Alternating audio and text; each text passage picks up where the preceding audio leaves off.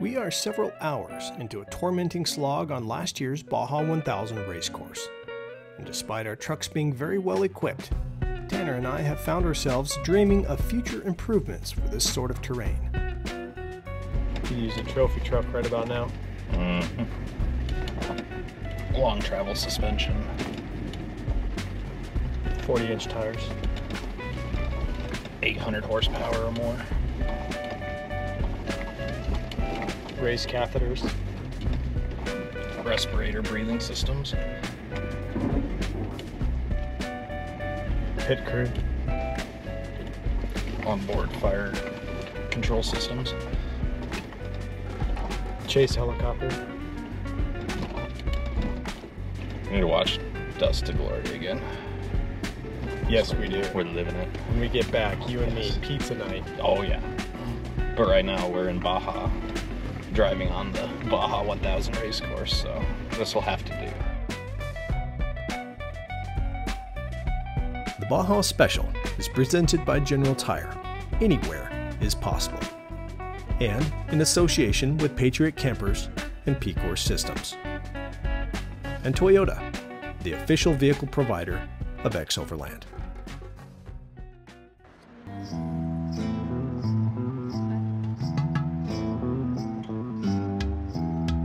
Okay, in the efforts of finding camp tonight, uh, the vans. Trailers are up on deck here. Uh, I'm gonna come to a park right now. And all three of the Van Stralen crew are gonna get in this truck and get us into camp. Starting now. Good luck. expect the unexpected. I'm gonna need them to navigate though. I know how to navigate. I know, but I need the map. I'll help you with it. Alright, we're just gonna take a second and get Dan on the Garmin, figure out where we are. Do you know where the camp is? No, we have Oh, we have to pick one? Because The sun's probably gonna set like a lot sooner since the mountains are up there.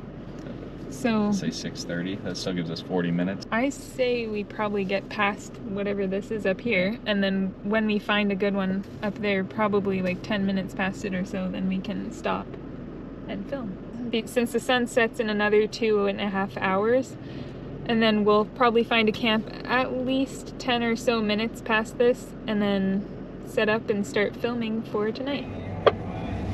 It won't. It'll set sooner than that Well, behind those sunsets mountains. at about 7:23. Can anyone confirm that on their watches?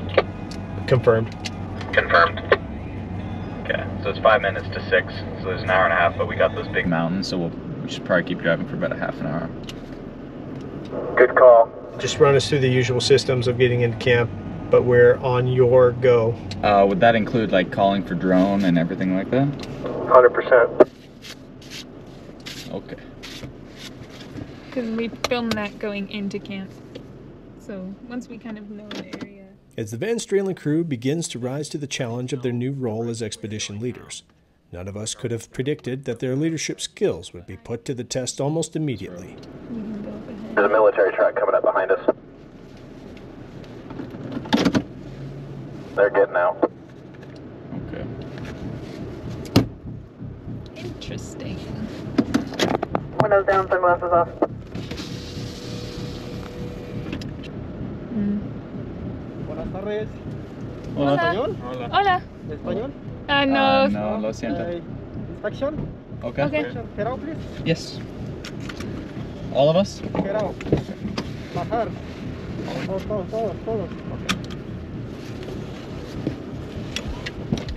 No van con droga, nada. Uh, no. ¿No? Hey, open, please. Okay. Ajá. Okay. No arma, No. no, No. nada. Nada. Oye, buenos, eh? Gloves Son muy buenos. for cutting uh, la leña.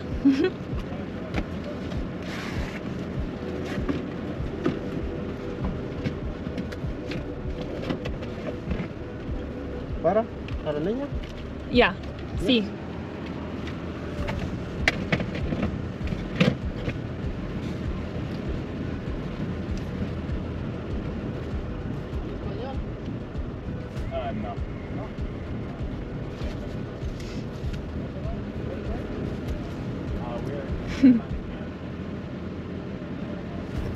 The military truck is to our rear.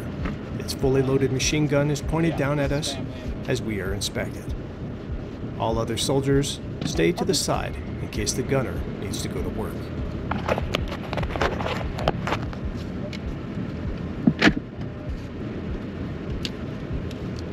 Inspection, please. Okay. Water, please. Oh, yeah. However, this encounter is a potential blessing in disguise. So is this in like what is this Bad area. for what? Bad people. Samson. Just kind of a wider spot just up here. Just yeah. The guy in the FAL. Luckily, I learned the word for firewood before we came because he asked about the machete, and I was like, for la leña. He's like, oh. We are instructed to get in the trucks and get out of the way so they can continue their patrol, leaving our new leadership with a follow up decision. Just gonna step in and give you some ideas. Uh, right now, we're potentially on the X, right? Like we're in a bad spot. So we either we keep moving forward or back. Let's try and make that call as soon as we can, and then we can figure the rest out as we're moving. Daniel's saying uh, he thinks it'd be better to move back. Same with Caroline. If that is your decision, go ahead and roll on it and uh, get us into camp. With the inspection complete and considering the new information we learned from the military personnel, our new leadership decides to leave the area and begin looking for an alternative location to set up camp for the night. You guys stated that there's a bypass that looks like that road kind of goes around a military checkpoint, so that makes sense that they'd be, you know, patrolling that. Another left and just uh, up to the right up here. Looks pretty flat and good. We'll just pull in then. Sounds good. I think you guys made a good move about turning around. Mm -hmm. If they say that there's bad traffic in there, we're not really sure what they mean and all that. Turn back around. Not We worth it. Made our way back towards San Felipe, which is more populated. We're not so remote, but yet we haven't gone back into town. We're back in here in the middle of nowhere. Mm-hmm. I feel totally fine. And we're what we're really doing is going off of their advice, right? Mm-hmm. Like there was no recognized threat other than them saying, "This has bad traffic at night. You may not want to camp here." Mm-hmm. So we moved back to where I think is a very, very safe camp. So good job. I think that was good decision making. Yeah.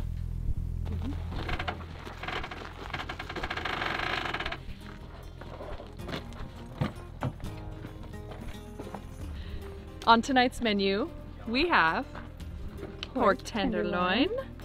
Potatoes. Chop them up, Yeah. throw some onions in them, throw some stuff, whatever we have in the pantry. mm-hmm. Throw it all together, throw some butter on it, because Yeah. butter makes everything taste better. As Caroline and Rachelle begin cooking the potatoes, a propane issue arises. And it smells like propane. Oh, it's oozing. So I'm gonna pull off the quick release. So it's coming out there. There's some. Let me close it. Alright, bugs. Wait. Just drilled out the check valve and completely wallered out the hole inside of it. Now it's just like nobody's business. This has one of these. Woo! Almost didn't shove my breath on that one. I just did some salt and the seasonings I had in the galley, which is it's Johnny seasoning. It's a garlic parmesan, like garlic toast seasoning, and it's my favorite go-to. I use it on veggies, meats, almost everything. And then I put a little bit of some of our friends' Holy Smokes barbecue seasoning on there. It's gonna be amazing. Thank you, Tanner. Mm-hmm. I think so too. Ooh, that looks good. Doing the poke test. I think she done. With the propane issue resolved, Rachelle and Caroline finish cooking a delicious dinner and fuel up the hungry team after an eventful day on the trail.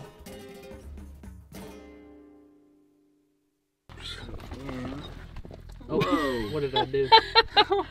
Way to go. Peter! I'm sorry, I was trying to check water. There we go. Still have. nice. Good job. After a great night's sleep, we begin to pack up our camp. As we approach the kitchen, we notice that we are not the only ones that had enjoyed last night's dinner. The water in the sink has attracted hundreds of bees, and none of us like bees, not even a little bit.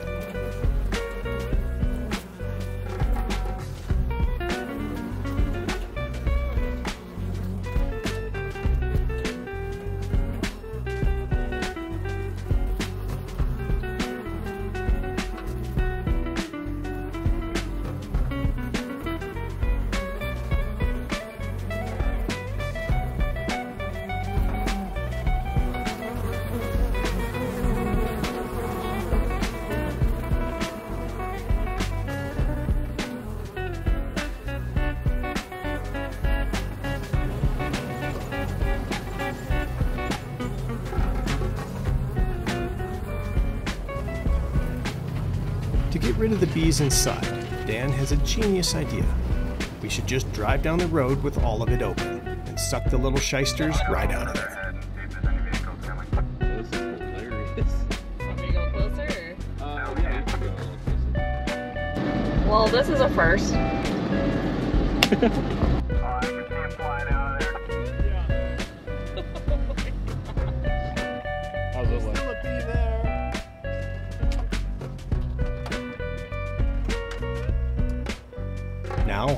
do is get the trash dropped off in town. I drew the short stick for that one.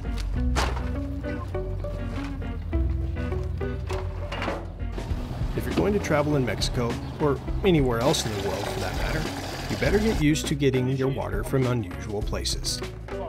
At the gas station, we get permission to filter right from their garden hose. Priming initiated.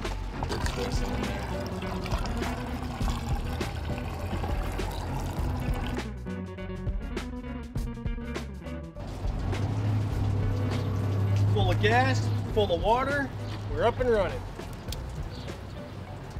This morning we've been a little worried that we would have a short day. So we've decided to do something else and explore a little deeper into the Baja 1000 tracks. Peter and Caroline are back in the lead of the convoy, which can be stressful at times. Clear after that red truck. I might pull up to the right here because there's a good open spot, and we can. You think we can swing around and pull in to the left there?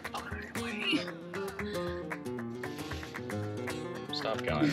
So wide. Look how much space. I know, I'm just saying. Yeah, I, I think we could have. Are we clear to the rear? We're clear.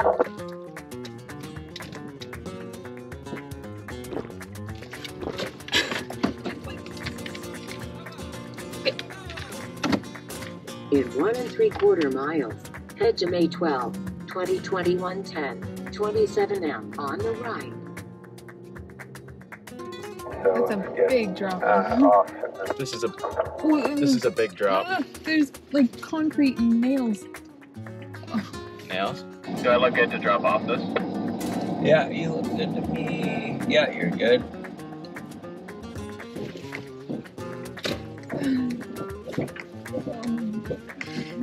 That was rough. I made some funny interior GoPro in here. Awesome. Oh, I've already got a bit of a cold sweat looking at that footage.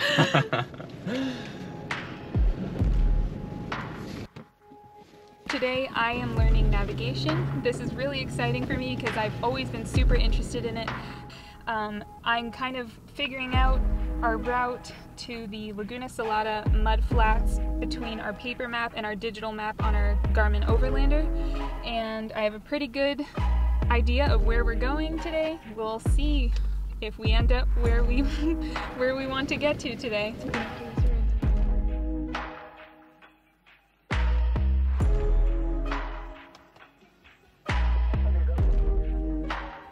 We wanted to be off road, but this 80 mile stretch of trail is becoming more than we bargained for.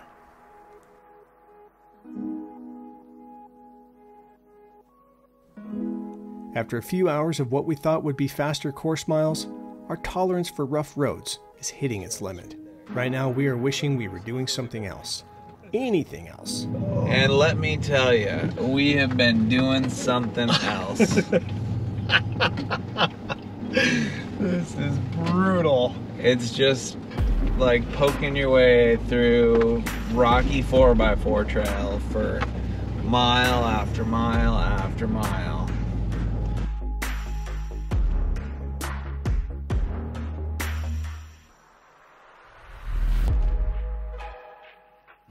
You're gonna come through here, you better have big tires and good skid plates.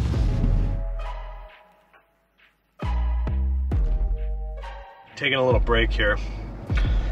I thought we'd show you the map. After San Felipe, At about 11 this at, morning. at about 11 a.m. this morning. It's now 5.30, and that's as far as we've made it. Long day, slow moving. Makes you feel like you're not doing much.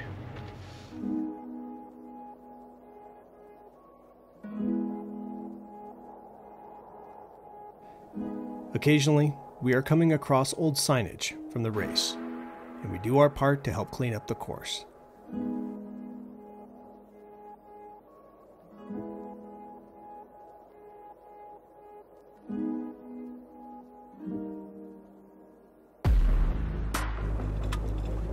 As the miles drone on, driver fatigue sets in and the skid plates and differentials are starting to take a few more hits than usual. As evening approaches, the road levels out and we pick up the pace. And it looks like this long, challenging day is finally giving us a break.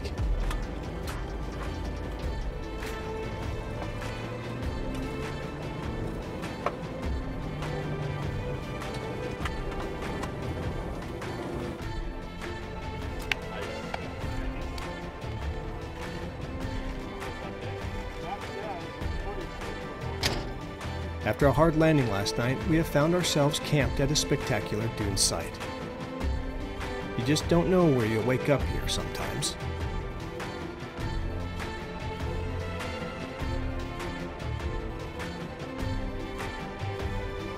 And hopefully, our course through the dunes today will be forgiving and allow for some driver training.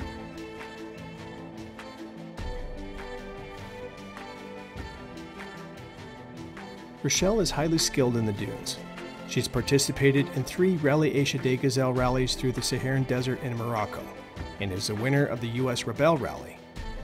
So Caroline gets voluntold to take this opportunity and learn about sand driving.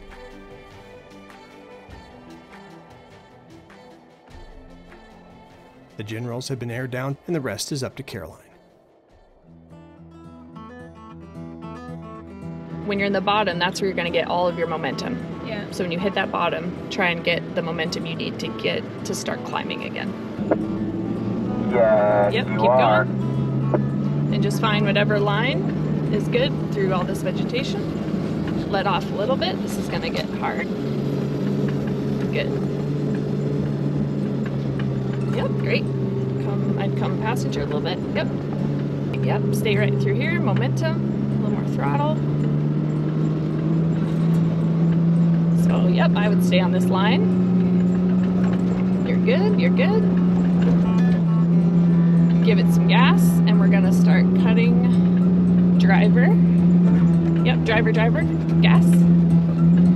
Good. Uh, throttle. Left. Throttle, throttle, throttle, throttle, throttle. Throttle, throttle. Turn that way. Okay, stop. Because now digging. Yeah, she's pretty soft in here. All right, so we're gonna do the same thing. Back up. Go ahead. You're doing great. Sand's just soft. So, okay, that's, you're good right there. Stop. You see this these rocks over here? Like it flattens out Oh, and you yeah. kind of get some gravel. Yeah. Okay, go, go, go, go, go, go, go. So straighten back out. Nice. Okay. Okay. Action, go, go. Yep. Okay. Back. Your wheels are too far. There you go. Yep. Stay on it. Go right. Straighten out. Good, good, good. Stay in it, stay in it. Just stay out of the tracks. You're good. Looking awesome. Good. To the right. Way to go. Yep, stay in it. Stay in it, stay in it, stay in it, stay in it. you let off, didn't ya? No, it is. There. There you go. Stay in it, stay in it. Come on, come on, come on, come on. Okay, go. Now turn down, driver. Nice. Good. Here we go. Yep, pop. Oops. Here to the. Yep. Okay. Passenger. Whoa, whoa, whoa. Slow, slow, slow. Yeah. Whoa. Not that slow. Everything like pulling. That's why I was like, you gotta have stuff tucked away. Sorry. oh, that was fun. All right, we're gonna come back down. Made that look easy, Caroline. Awesome. You did great. Whew. How did it feel? Awesome. It Yeah. was so fun. Obviously, there's a lot I need to learn, but it was really fun Yeah. to experience how that feels and stuff. Mhm. And thank you for all of your Of awesome course, yeah. Not to be outdone, Peter and Ryan take a stab at the hill as well.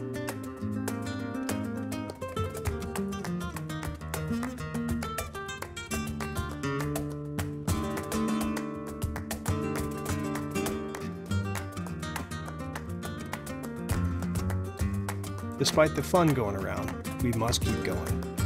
So we air up a bit and hit another long stretch of trail before the heat of the day kicks in.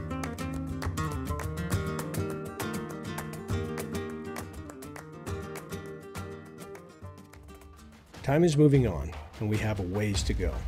Between us and our destination lay the Laguna Salada mud flats, the perfect place to make up some time.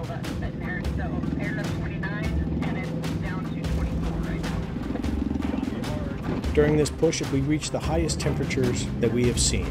105 degrees Fahrenheit is registered on the Tundra's dash.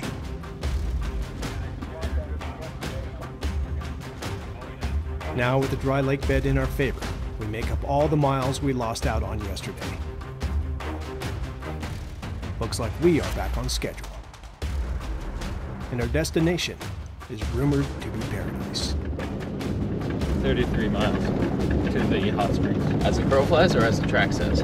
Well, as the crow flies. as crow flies. It is 33 miles as the crow flies to our camp. Copy, 33 miles as the crow flies. I think we can almost fly like the crow right now.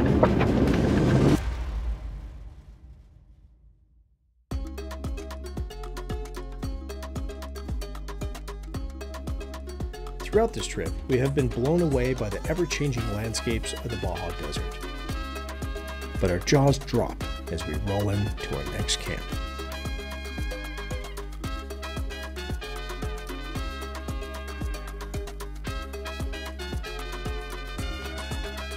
This magical spot is the Canyon of Guadalupe.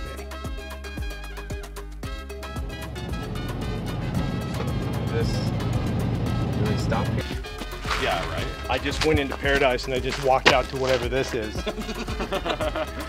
Let's get in our cars and go in there. Nice. Yes.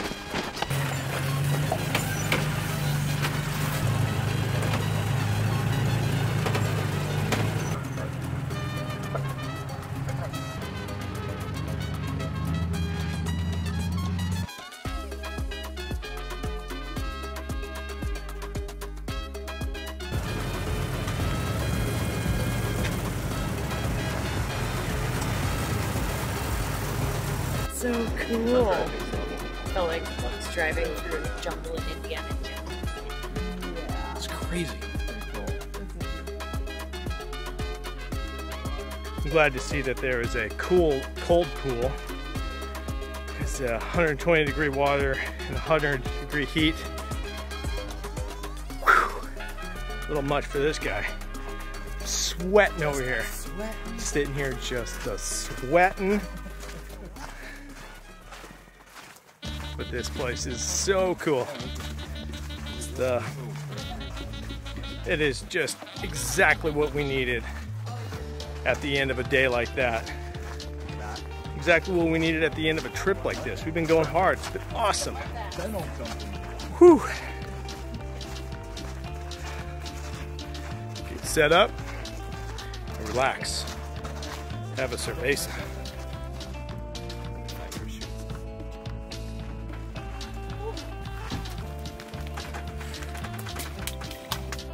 Ryan, I think it's a margarita night.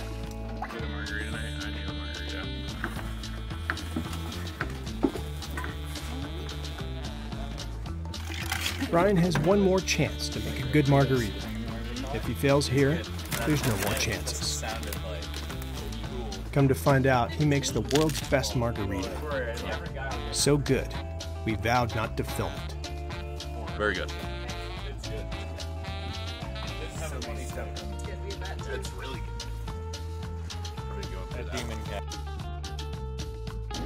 That was a sweet camp. That was amazing. It was so cool to come into after driving across the desert. Like you just see the mountains in the distance, but like Uh-huh. like nestled in those mountains across some of the driest desert ever. There's like hot springs and oasis. Right? So crazy. Crazy.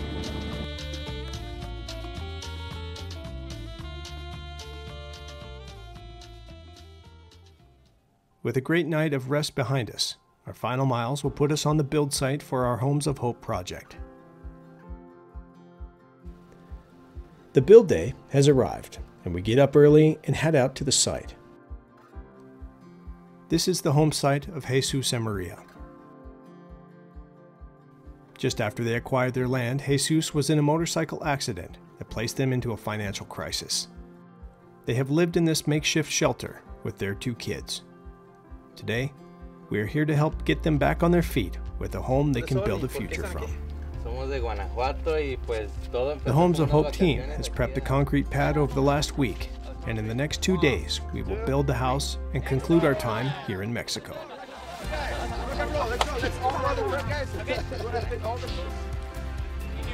Truck carrying supplies gets bogged down, and our overland recovery skills come into play. Who knew that the most adventurous recovery would be the build truck on the home build day?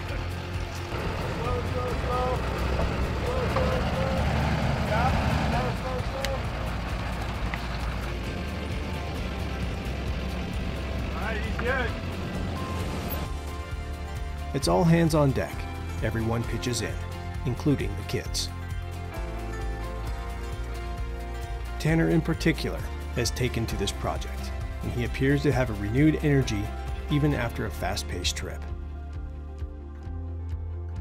Okay, guys, we want to lift it up the walls. Three all the way up, all the way up. One, two, three. Wall by wall, Jesus is standing up a new future for his family. And speaking of family, we have one last surprise for the Van Stralen crew.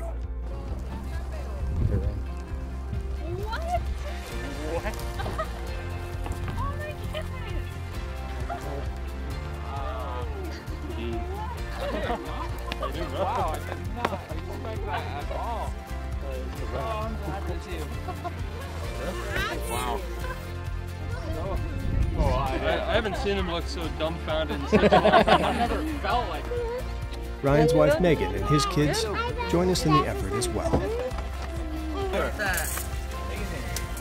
Say, I'm Riker. There you Ah. After some quick hugs and laughter, it's time to get back to work.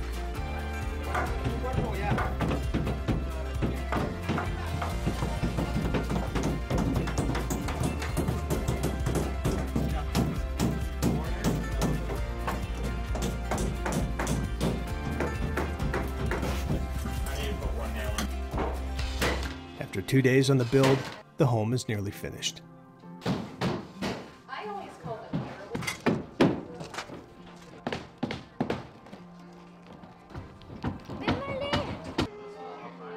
Well, it is about 12:20 on the second day of the build, and we are basically done. We're just finishing cleaning up, got the furniture in.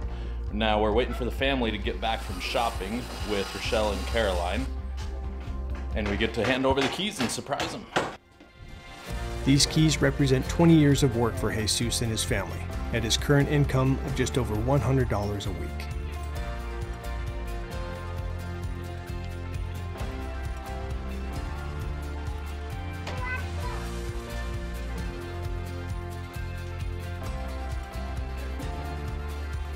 We at X Overland wish their family a very blessed future.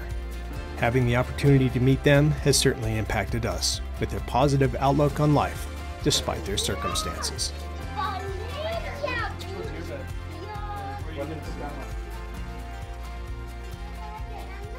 Yeah. get to travel the world and you get to see things, but there's something about giving back that makes. I mean, this is more, this is cooler than a lot of the stuff that we've just gone and done, you know?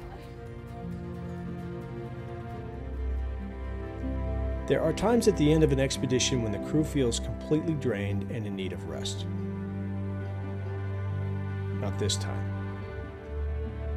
Every time I come down it's always new surprises.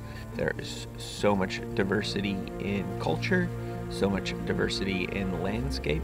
It is always worth your time to be able to come down and see so many cool things in such a condensed place. Getting to see more of Baja on another level than most people see it, going into places that very few people, especially foreigners and travelers, go to. And getting to connect with the culture and the people has been incredible. Um, and I've never, like, my whole view of Baja and Mexico in general has just completely been changed. I really feel like a lot of what I've learned here I can definitely take back to our own trips and with our family and become a better driver or navigator and all the other things that I've got to learn and kind of dip my toes into doing. So it's definitely been an excellent experience.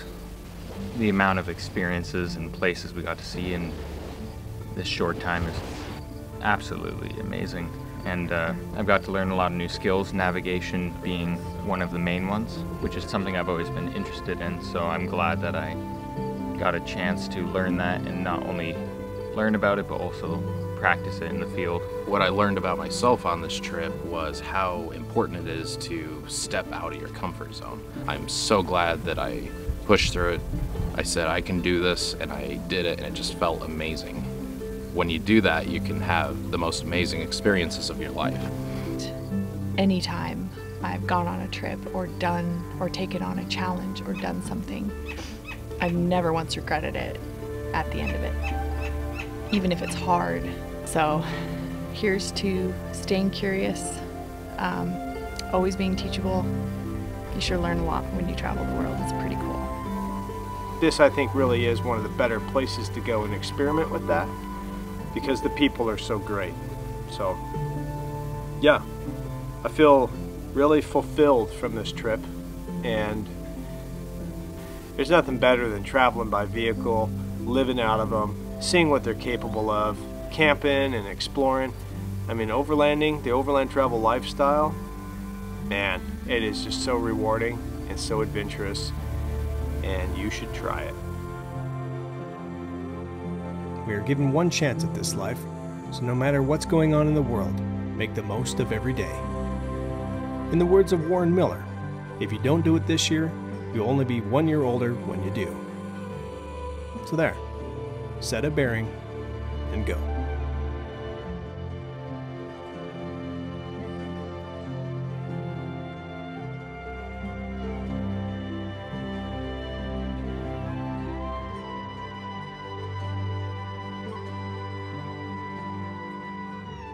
Dan have a pulse this morning.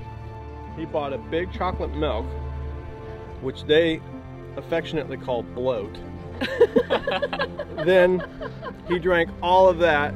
He made his brother try it, and they they didn't trust each other, so they fought over that for like three minutes about if he should try it or not. And then he drank it, all of it, and then he went back into the back seat, and then we drove off. And then I was like, "Are you feeling okay?" He's like, "No, I'm not feeling so good because I drank all my chocolate milk." And then he's like, maybe I'll just eat this box of Oreos. so then he pulls out this box of Oreos and he says, I got this for just one dollar.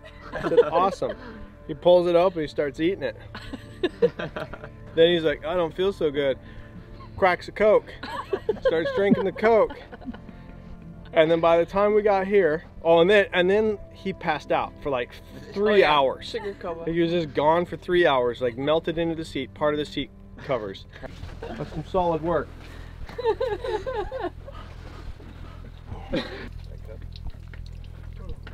Here all day, Tanner. You're dribbling on your foot.